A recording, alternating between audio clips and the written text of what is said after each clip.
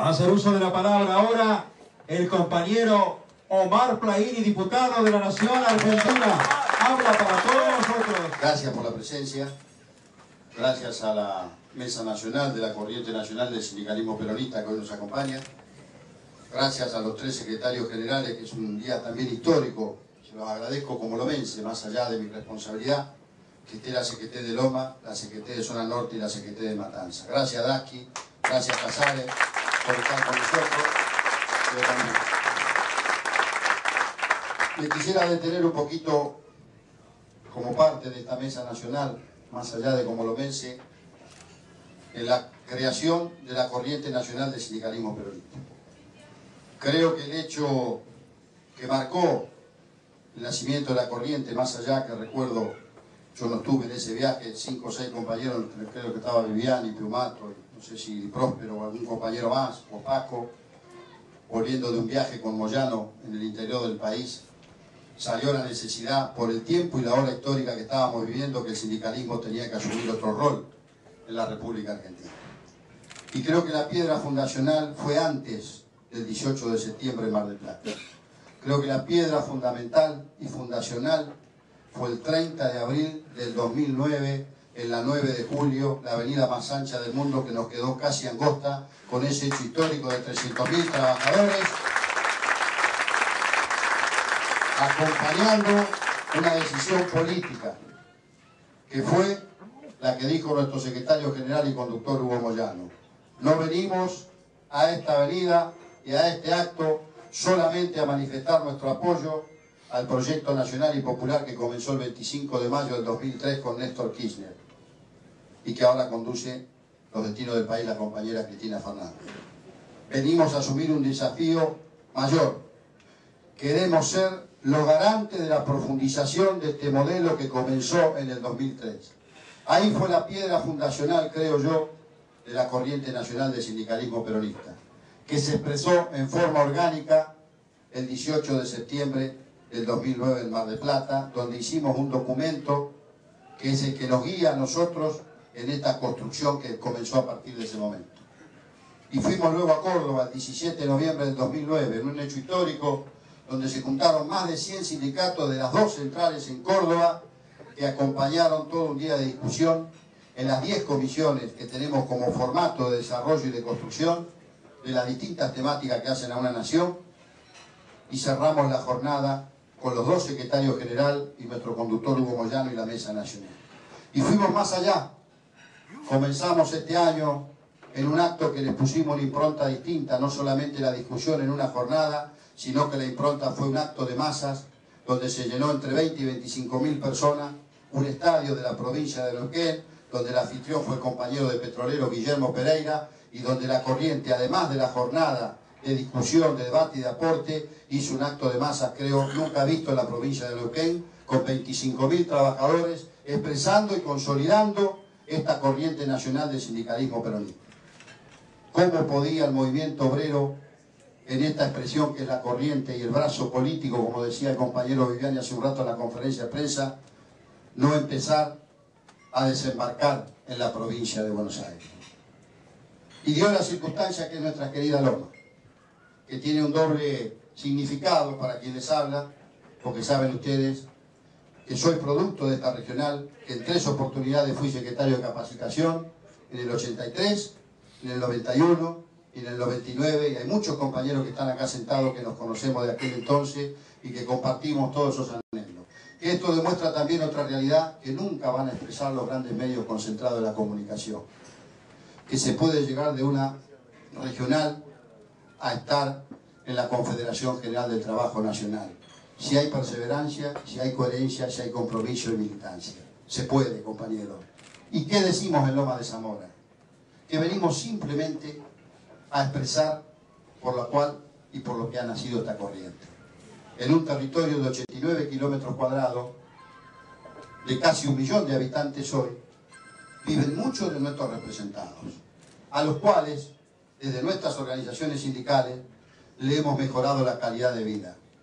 No solamente con los salarios y las condiciones laborales, con el turismo, con la recreación, con la salud, con ocuparnos, como mirábamos ayer en un sindicato, de la discapacidad, que es un tema que no todos se ocupa y ayer quedamos maravillados del sindicato de plástico con la obra que hacen esos compañeros.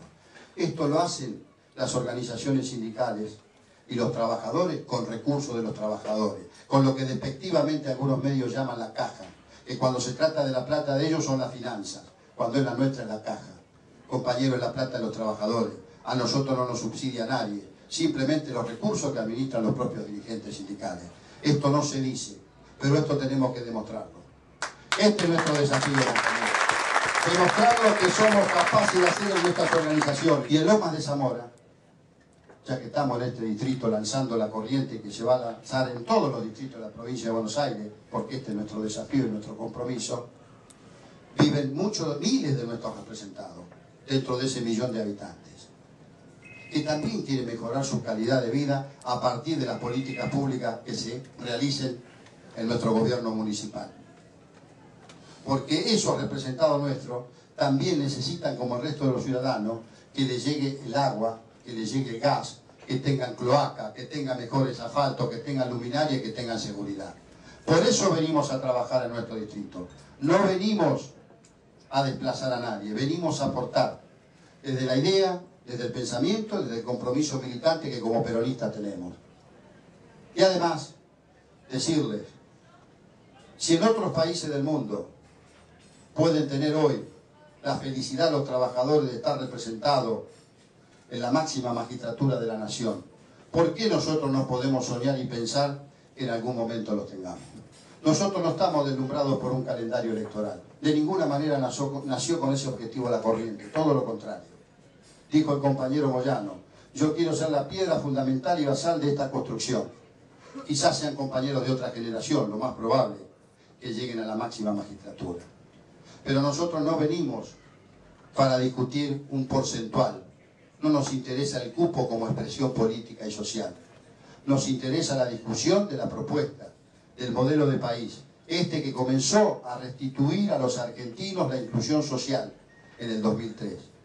Queremos que no sean solamente 4 millones y medio de puestos de trabajo, no alcanzan, faltan muchos más. No queremos que sean 2 millones solamente jubilados, queremos más, no alcanza. Queremos trabajo decente y digno. Queremos trabajo registrado, por supuesto que falta, pero nosotros vinimos a discutir ideas. Y esa es la propuesta que está elaborando la corriente nacional del sindicalismo peronista. Y la vamos a llevar a todo el país en cada una de nuestras 24 provincias.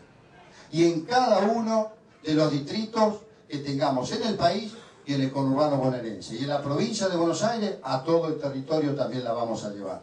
Porque nosotros tenemos trabajadores en todo el país. Y esos trabajadores tienen derecho a mejorar su calidad de vida, no solamente con nosotros. Por eso nació la corriente. Este es el objetivo de la corriente. No venimos a disputar con nadie. Pero hay una cosa también que dice nuestro conductor. El peronismo nació antes que Perón. Porque el 17 de octubre del 45, la masa de trabajadores que fue a pedir por su líder, el coronel Perón, que estaba preso, ya ahí daba nacimiento los trabajadores al peronismo. Por lo tanto, más peronistas que los trabajadores, solamente Perón, nadie más. Entonces, compañeros,